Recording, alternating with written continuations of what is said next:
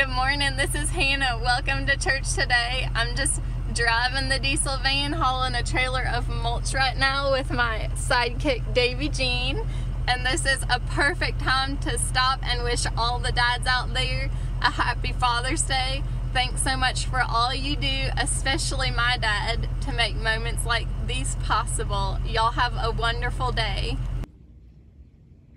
Good morning, Grace Blue Ridge, and thank you for joining us this morning for our online service. We're glad you're with us today.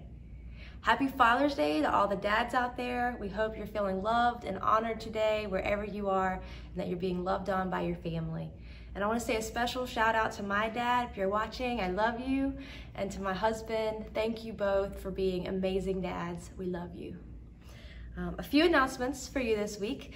Um, I know that you guys, some of you, are starting to feel a little restless, and we're still a couple of weeks away from the sessions step two to regather.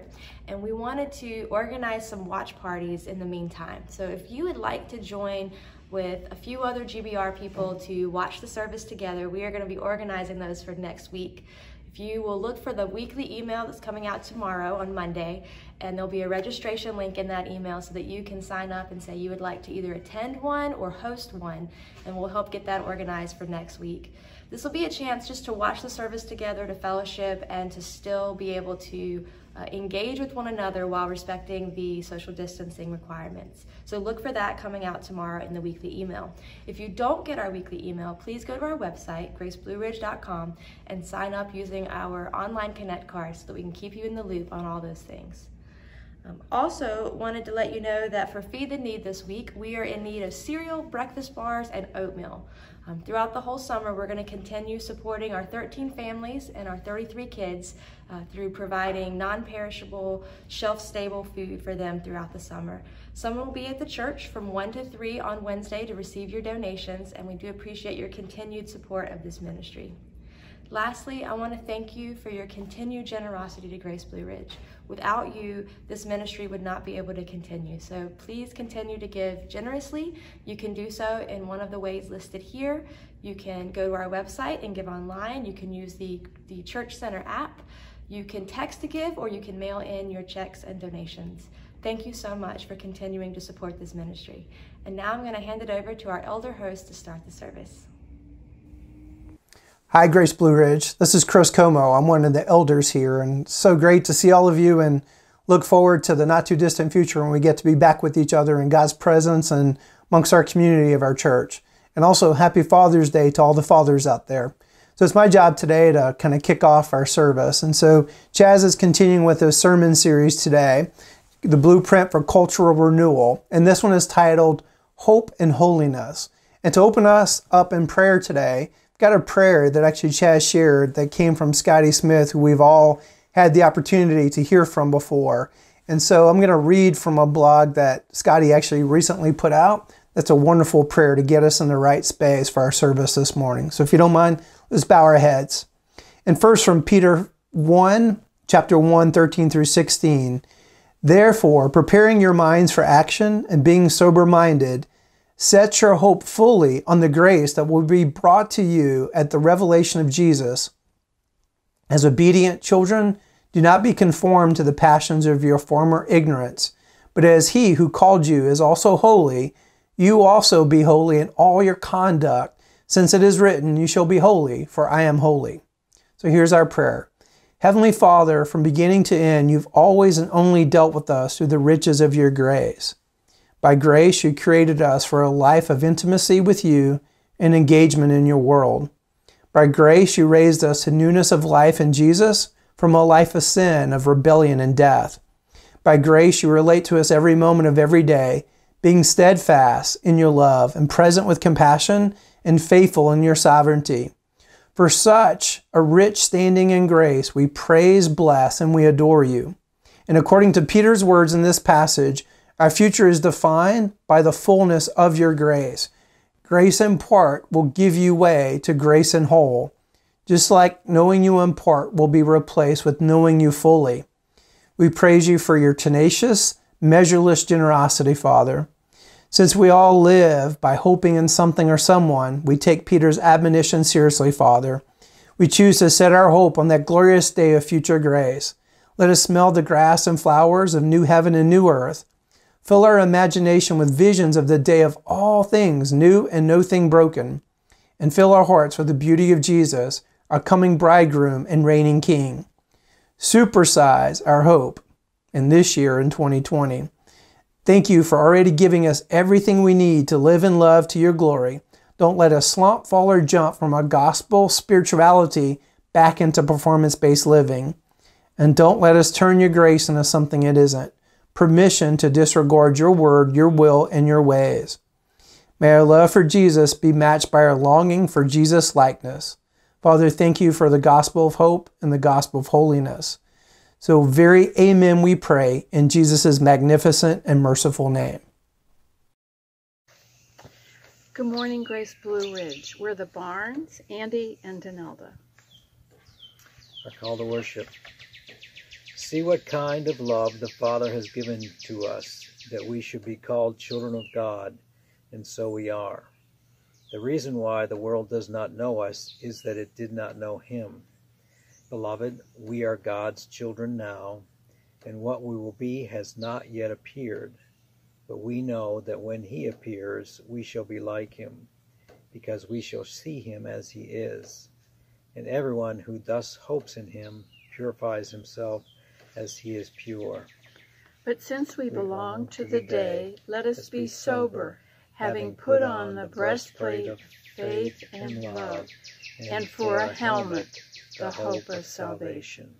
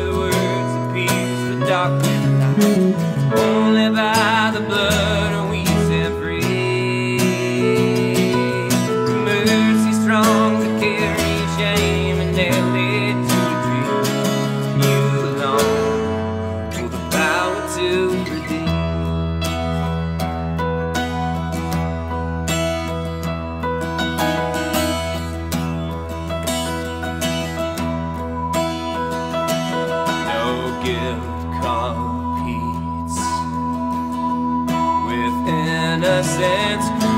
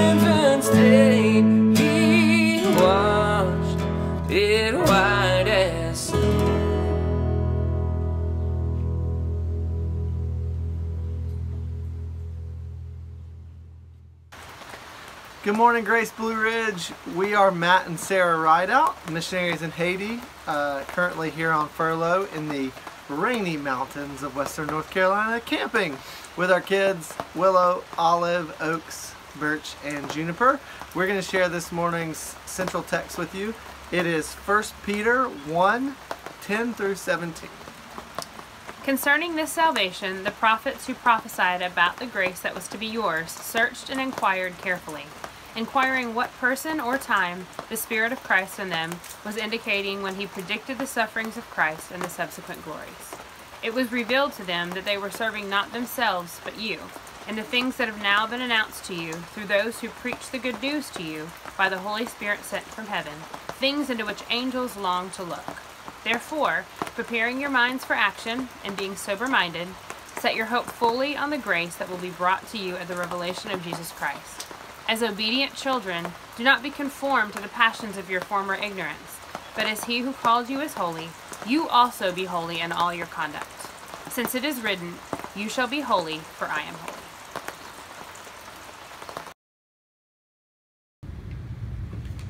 Hey, it's uh, good to see you again, everybody. Uh, it's also good to see the sun back in our lives uh, this weekend. He's been hiding out.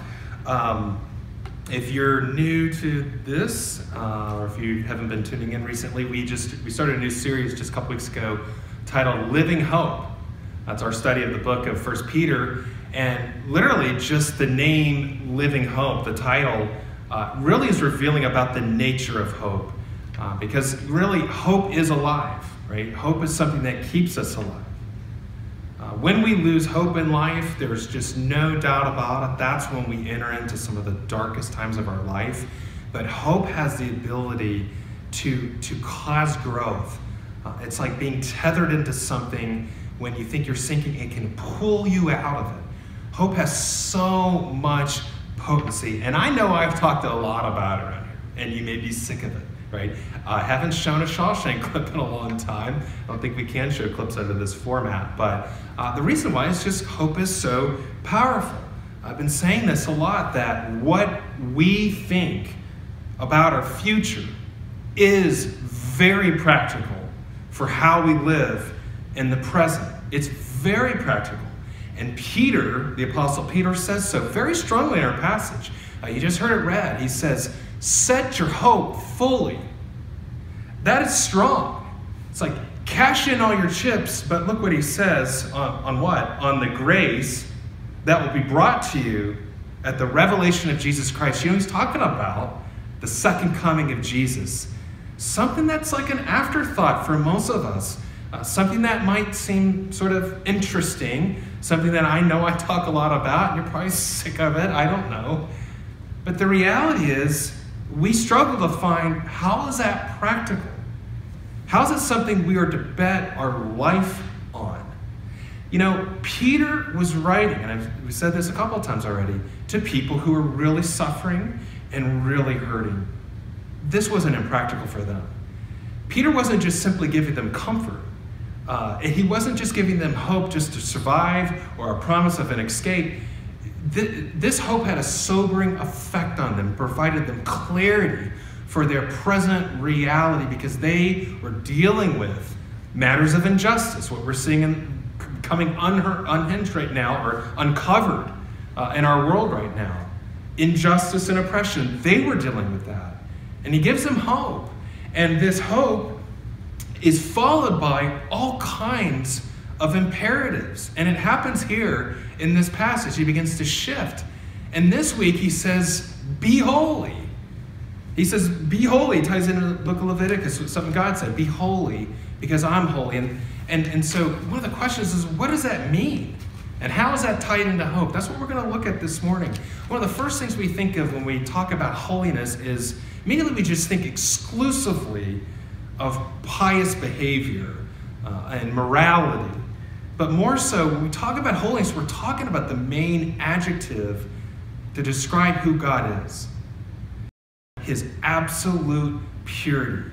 And to be holy means to be set apart. Now, here's the amazing thing the, a, a mystery to behold that we are told Jesus is bringing the true holy land here one day, this, his second coming.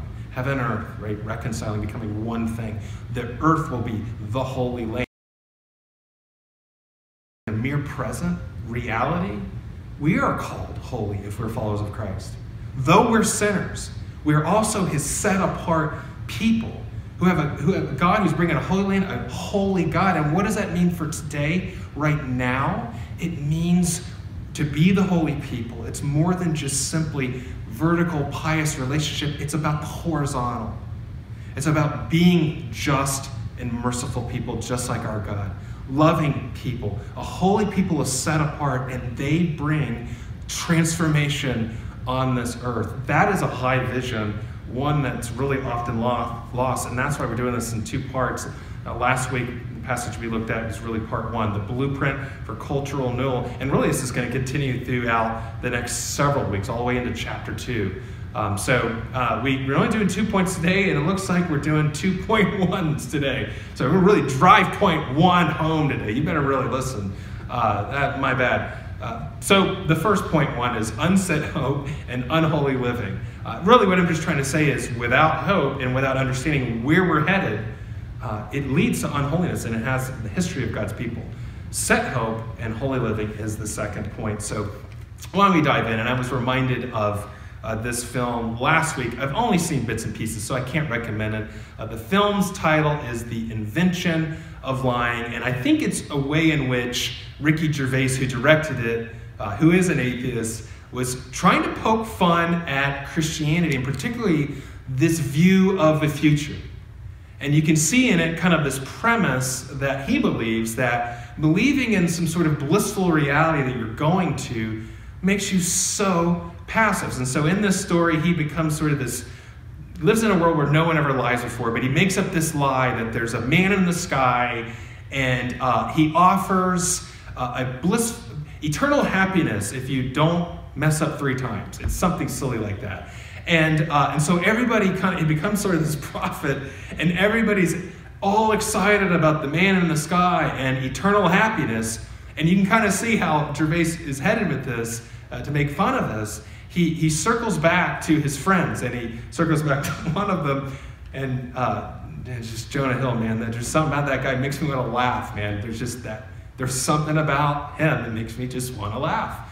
Um, but he asks his friend, I don't know, remember the character's name, but it's played by Jonah Hill. He says, You know, now that you know the man in the sky, are you happy now? Have you found, have you found love yet? Are you dating anybody? And um, Jonah Hill char- character says, uh, No, no. Well, I've kind of given up on that now.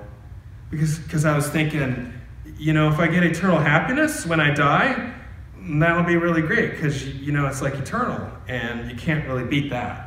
So i'm just really happy that's going to happen. So until then i'm just going to kind of stick with the alcohol my little apartment just kind of hang out by myself and drink and watch tv okay? Oof. but you can kind of see in that gervais is saying look this is what it makes you passive thinking about the future. Uh, and this sort of came up just this week um, with um, a friend of a friend who was telling about a coworker who's a Christian, and she was sharing uh, with her that, look, I'm not worried about what's going on in the world right now. I'm not worried about COVID. I'm not worried about racial tension and inequality because God's in control. And He's coming back and He's going to fix everything when He comes back. And this friend was just aghast by that. It's like, is this what Christianity teaches? And what you hear in that is, again, it's just incredible misunderstanding. Yes, God's in control. Yes, when Jesus comes back, He's going to fix everything. But it never, ever is something that would ever make you passive if you really understand what it means to set your hope fully. And so, where Peter does is he starts and he says, let's do a little history lesson. Let's talk about how hope worked in a dark time uh, when the prophets were around. And he says here, concerning the salvation, the prophets who prophesied about the grace that was to be yours, so he's talking to his own audience. You have this grace now, but those prophets back in the past, hundreds and hundreds of years ago, well, guess what?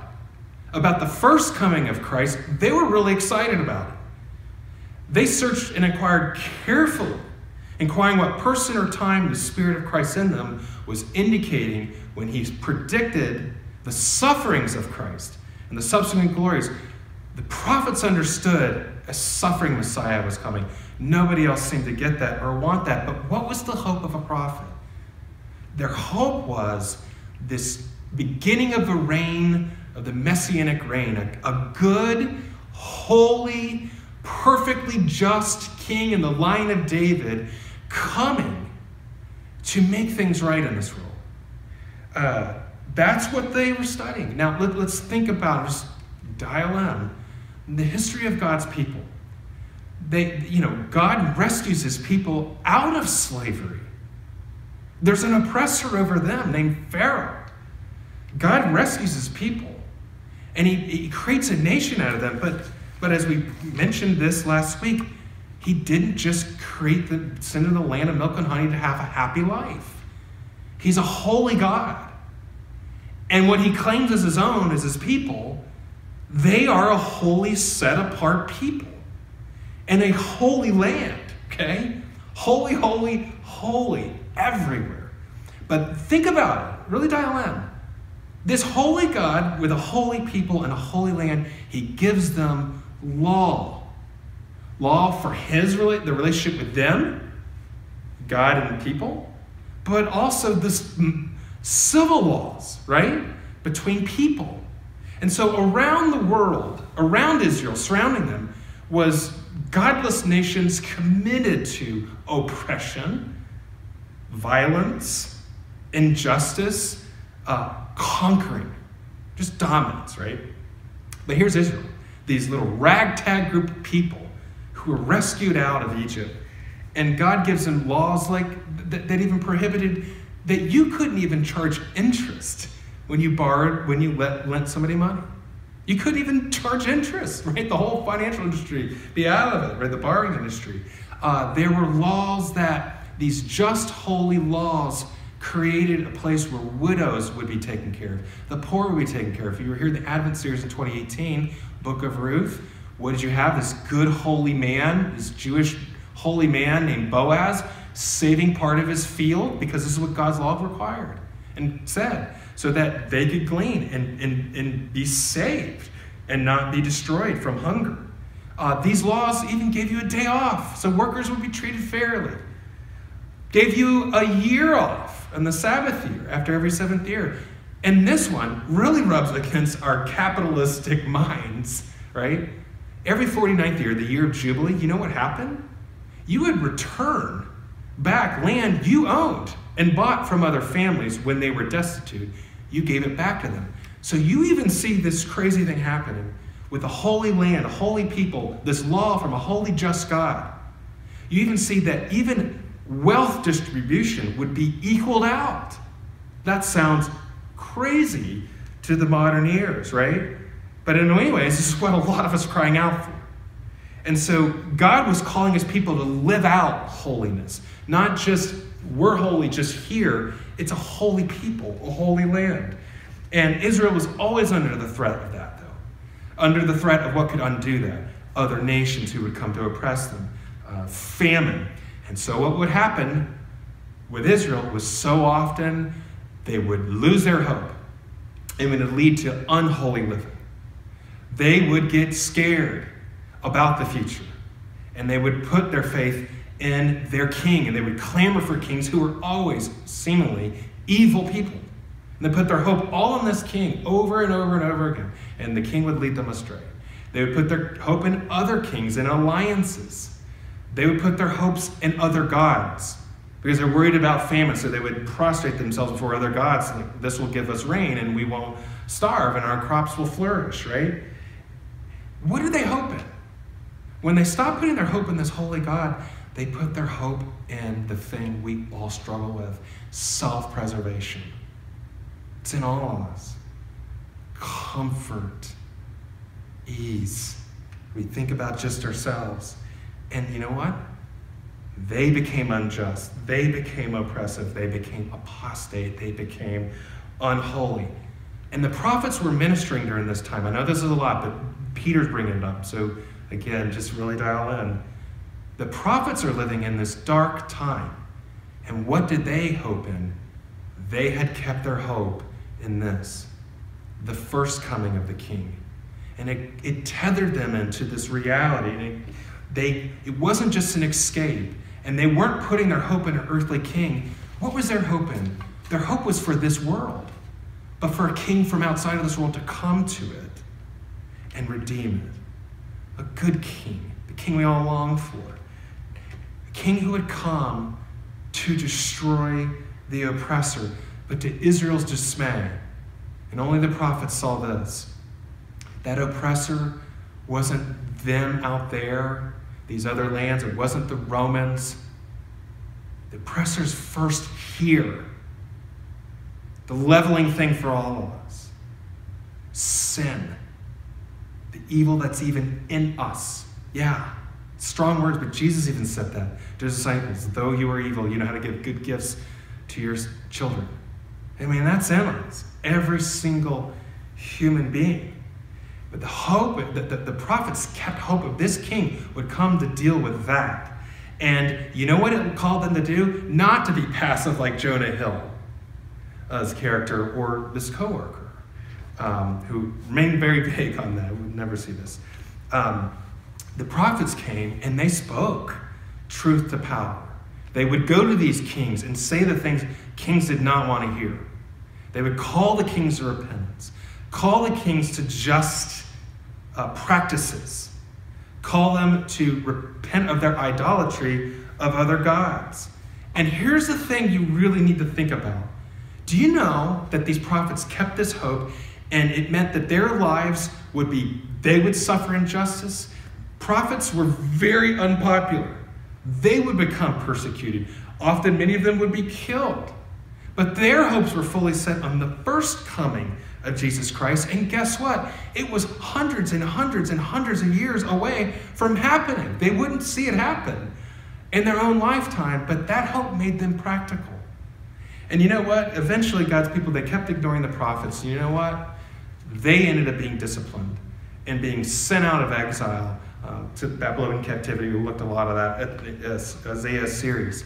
But you know the strange things happen? This is a mystery to really think, not mystery, but it's just ironic and just interesting. Is God's people came back and they're like, whew, learned our lesson. We're going to remain holy. We're going to stay holy. Let's rebuild the temple. Here's the law. Ezra and Nehemiah are giving it back to us. That's awesome. Let's do this. We're going to be holy people. You know, all of a sudden, the birth of legalism came from this.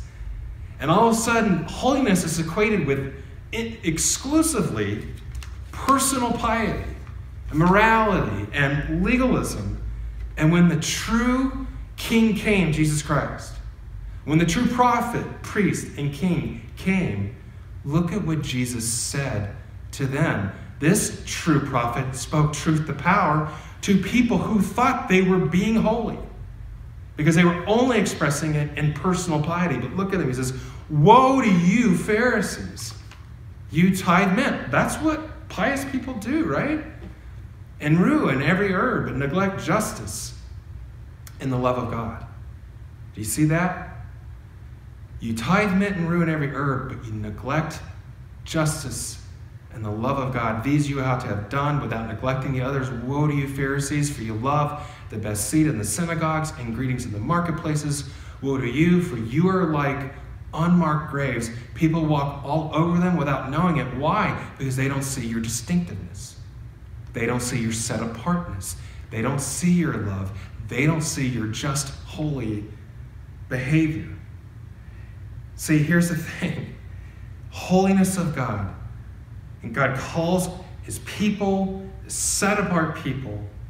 And the, this holiness of God leads into and includes concern for issues of love, justice, and mercy.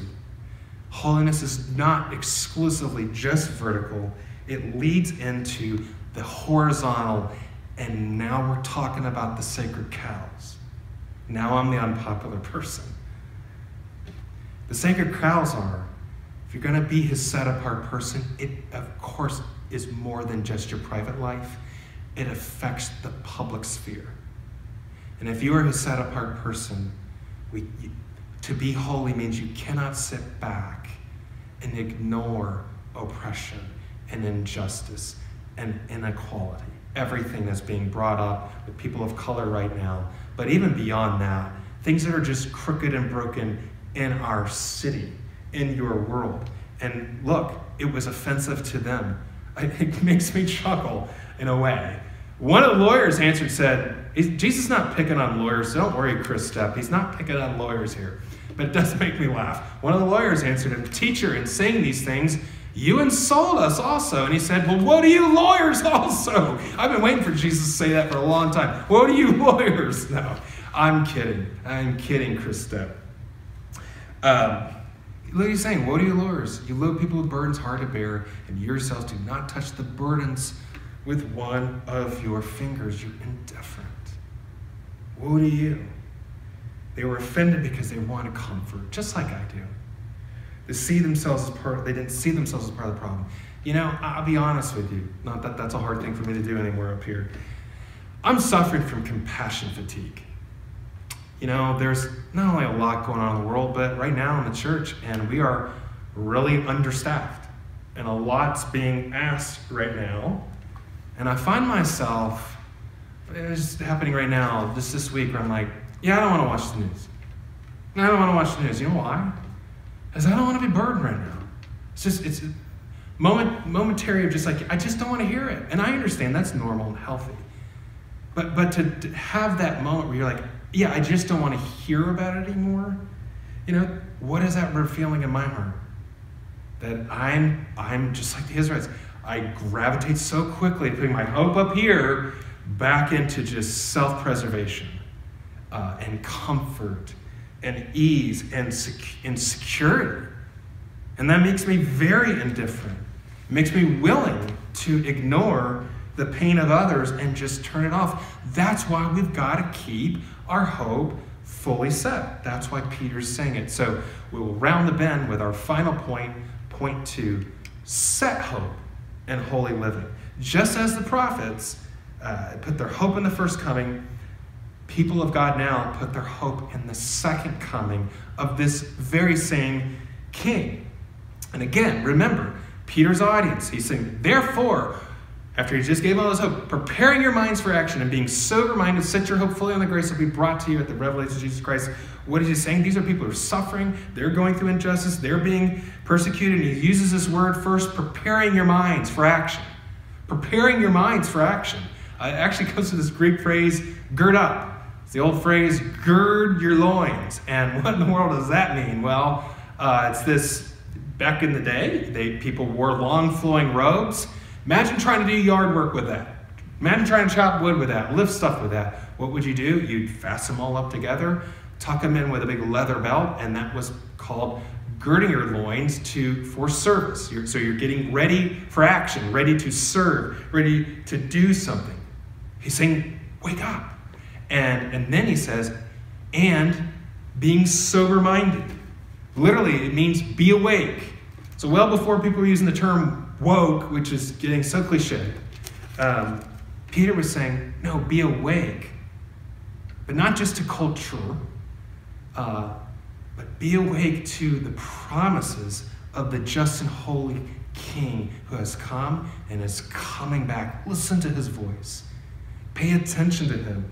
Be watchful. Be watchful to what? Here's the thing He's literally saying that at any second this king could come back. And it matters. Now, I know what you're thinking. Huh?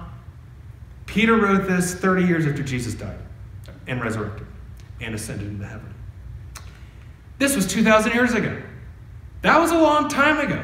And he's saying it in such a way that Jesus could have come back at any moment then, and it's been 2,000 years later. But keep in mind, Jesus tells us, he admits just as much in all these parables, he tells about this. Almost nearly everyone. We'll just look at one brief one.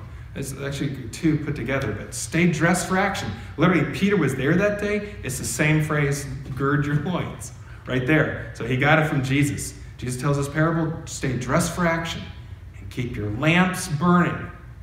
And then later, but if that servant says to himself, My master is delayed in coming, and begins to beat the male and female servants and to eat and drink and get drunk, the master of that servant will come on a day when he does not expect him, and in an hour he does not know and will cut him in pieces and put him in with unfaithfulness. Woof, that's strong. That's another sermon for another day. But look, every single one of these parables, the, the virgins who didn't bring their oil and were not ready for the bridegroom, the tenants in the vineyard who got impatient and beat everybody then the heir, the owner who wasn't ready for the thief in the night. The, Jesus is saying, Yeah, my coming seems a long way off. And don't try to predict it either. And yet, the forbidden attitude in all of these, the thesis is disregard.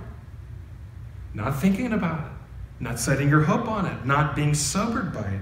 And so when you get back into our verse here, you can see it's strong. And admit it though, it's something we're scared to do because there have been weird fringe people who've clearly ignored what Jesus said and tried to make bold predictions about this. And it becomes this weird industry.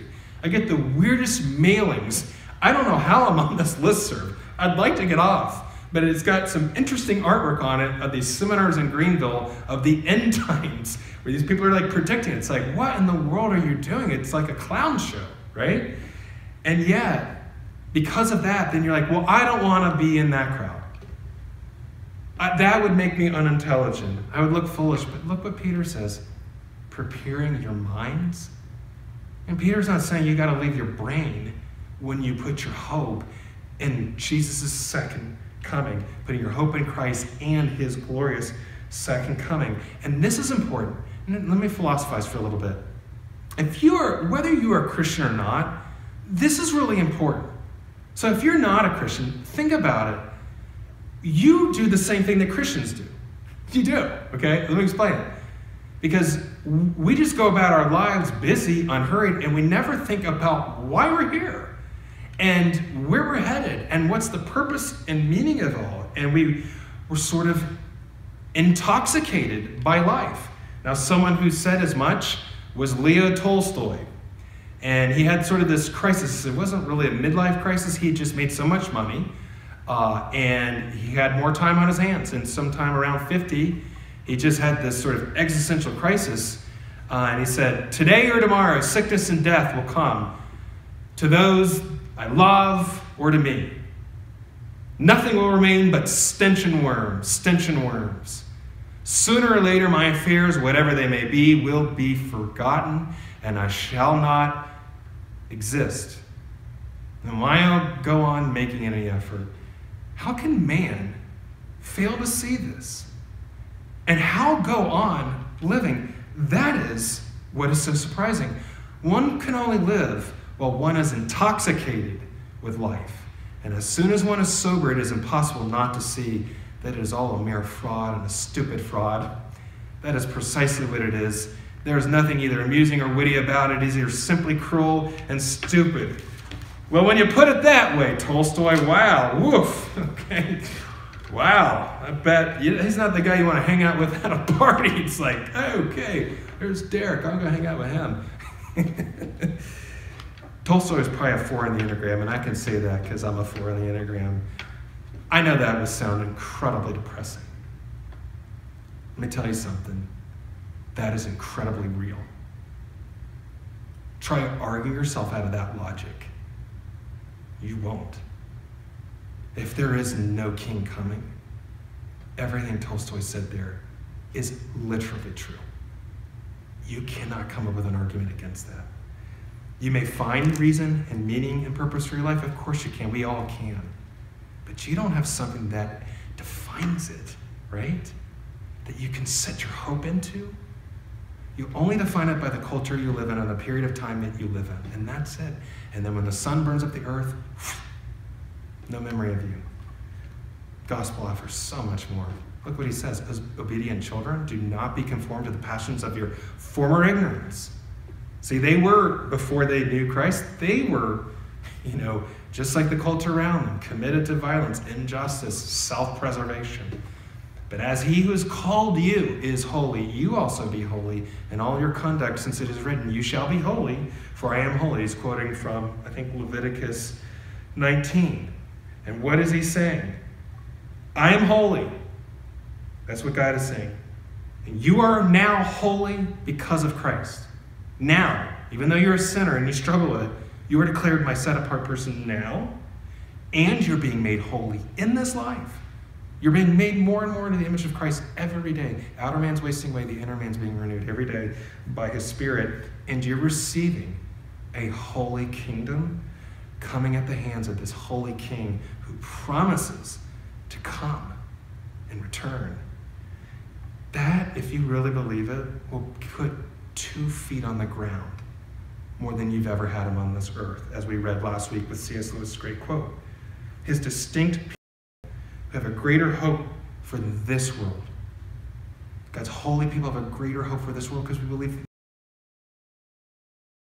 Musician, author, I've seen his writings here and there uh, for years now. His name's Criss Jami. Uh, he's brilliant. I don't know. He's half, like, I think he's only in his 30s. Um, everything that comes to his mouth is like, wow, where did you, how did that happen? And look what he says. He says, the Christian uh, does not avoid sin to achieve salvation, but rather salvation brings him to a desire not to sin. And the closer that one's spirit is synchronized with the holy knowledge of God, the more he comprehends how and why sin is destructive to himself and others in each and every circumstance. The dwindling desire for sin, look what he puts it, it's beautiful, is a premature gift of heaven where there'll be no more sin. Do you hear what he's saying? When you're headed to a holy land and you're called a holy person now, it matters. And you want to bring that world here. So, what difference does it make? Let me dial this in a, a little bit better if I can here. Um, let me ask you if you had a distinguished, world renowned visitor uh, coming to visit you in the next 24 hours, and it would change your life forever. Your life would never be the same because of this visitor. What'd you do for the next 24 hours? You wouldn't, would you sit back and be like, hmm, that's neat. Huh, that'll be cool. Yeah, all right, I'll, I'll go get Chick fil A for that or something. No.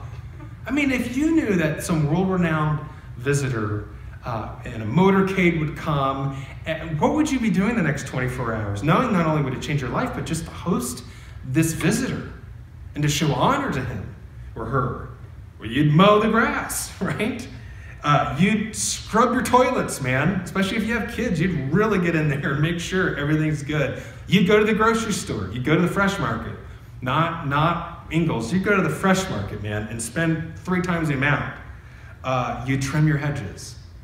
You'd make every bed. You'd even get rid of those dust bunnies underneath the bed. You'd tell all your neighbors and your friends, guess who's coming? Guess who's coming? And you'd cook the best meal. If you knew that Jesus Christ was coming back this Friday, would you just sit back? Okay, that's neat. Interesting point. And you know you do? You would release all your grudges right now. That person you're not reconciled with, you keep calm. The person you need to issue pardon that you have not forgiven, you would forgive. You would not be holding on so tightly to your money and your little hopes. You wouldn't be planning a vacation at Wild Dunes on Saturday if you knew Jesus was coming back on Friday, right? You wouldn't be oversensitive, finding fault in everybody and everything, and sitting in the judgment scene safely in your peanut gallery. No, you would be bold.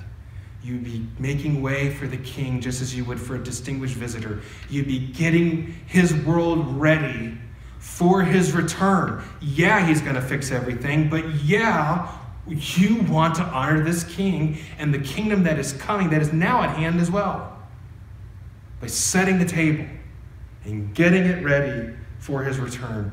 That's sober mindedness, that's watchfulness, that's setting your hope fully. Martin Luther was once asked if you knew Jesus Christ was coming back tomorrow, what would you do today? Intensely practical. He said, I'd plant a tree. Tree? Why would you do that? That makes no sense. He said, Well, because imagine how beautiful and glorious that tree will look like in the kingdom tomorrow. It matters what you think of your future to deal with your present and the things that are wrong in your present. You don't sit back look at injustice and oppression and policies that promote that as holy people and keep turning a blind eye. So, this kind of thinking with heart, soul, and mind creates the holy living. We don't work idly for justice and mercy. We don't do it because culture's telling us to do it. We do it because our King, that's his nature. And he's telling us to do it. And we do so because we're his set apart, holy people. We do so because we're paving the way for the King to come home. And oh, he is coming home. He is coming. He is coming. If this is your hope, or if this is where you want your hope to be, then join me right now in a corporate response of praise, repentance, and hope, uh, taken uh, from uh, liturgy from Calvin Theological Seminary. So say this with me Get up where you're at. I know we only have just a couple more weeks of exclusively being here, so you'll hopefully be here with us on the 12th of July. We'll see how that works out. But get up where you're at and say this with me Worthy is Christ to receive all power and glory and honor. We, as holy people, renounce the spiritual forces of wickedness, reject the evil powers of this world, and repent of our sin. We accept the freedom and power God gives us to resist evil, injustice, and oppression and whatever forms they present themselves. We confess Jesus Christ as our Savior. We put our whole trust in His grace. And we promise to serve Him as our Lord. In union with the church that Christ has opened to people of all ages, nations, and races. Acknowledging the promise of grace, we pledge to be faithful members of Christ's holy church and to serve as Christ's representatives in the world. Come quickly, we pray. And until that day, strengthen us in faith, hope, and love.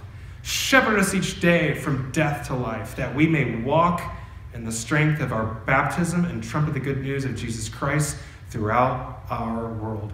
Come, Lord Jesus. Come quickly. Amen.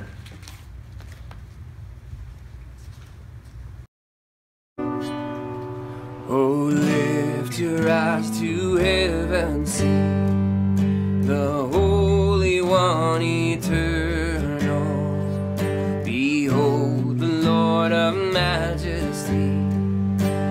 Exalted in his temple, as symphonies of angels praise, now straight to sound his glory.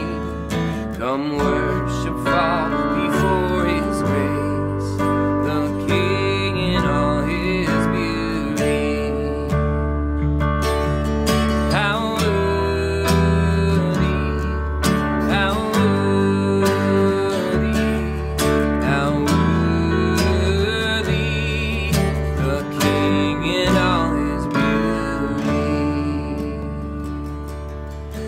Now see the King who wears a crown, one made of shame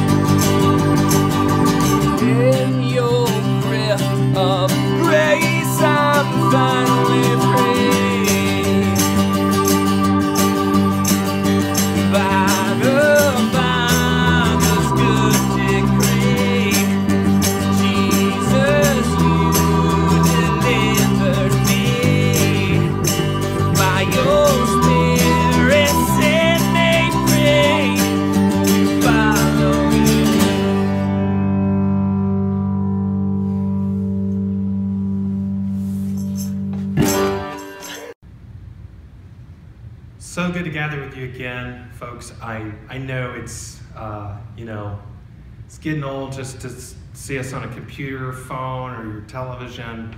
Uh, I know it's also been nice for many of you. I know it allows you some flexibility to maybe watch a little later, but uh, hopefully we're not developing bad habits. If you go to our website, uh, you can see the email that we sent out on May 28th. It's right at the top, uh, at least on my web browser, on my phone. It, you just click GBR and COVID 19 resources. You click it, it shows our plan of phasing back in, and it shows our chart that we uh, sent out that email back on the 28th. Uh, we as a session are meeting this Tuesday to pray about our upcoming session meeting at the end of the month on June 30th. We decided back in May to enter a phase one, but it didn't include corporate gatherings. Uh, we wanted to use the month of June to be cautious and careful to see the data. We anticipated an upsurge, and we are seeing that, but I don't know yet what all that means for our, our plan, which says in phase two begins July 12th, which would be sort of some limited gathering actually happening here on Sunday, so I can get used to not preaching to a cell phone anymore. I don't know all the details of that, but if you could just please pray for us because we're seeking the Lord on that. We want to be wise, but we want to gather too. I, I feel the same way. It's just me and Kenny right now. It's really lonely here right now. Okay? and he didn't even laugh at my jokes or anything, so it's really lonely. I know, finally he does. All right, enough of the uh, commercial there. Style back in before we go. Here's our benediction from 1 Thessalonians 5 22 24. Abstain from every form of evil. And now may the God of peace himself sanctify you completely. And may your whole spirit and soul and body be kept blameless the coming of our Lord Jesus Christ. He who calls you is faithful, and he will surely do it. Enjoy the sunshine. We'll see you next Sunday.